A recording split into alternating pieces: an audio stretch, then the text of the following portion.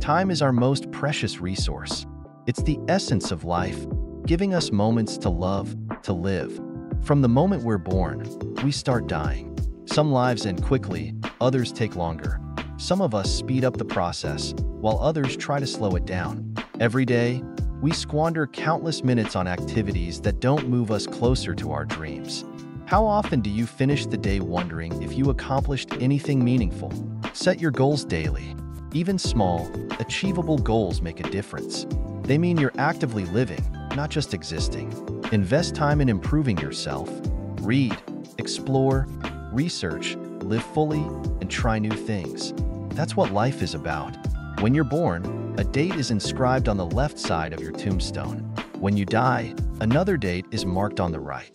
The dash in between? That dash is your life. It signifies the impact you've made, the legacy you've left, and how you've touched others' lives.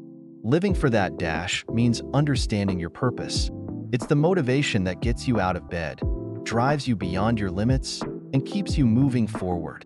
Evaluate yourself. How do you rate your physical appearance and health? Are you taking care of yourself?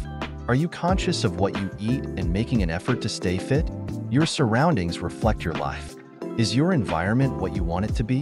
Many people are dissatisfied with their jobs, spending hours doing work that doesn't challenge or inspire them. This affects your motivation, self-worth, and relationships.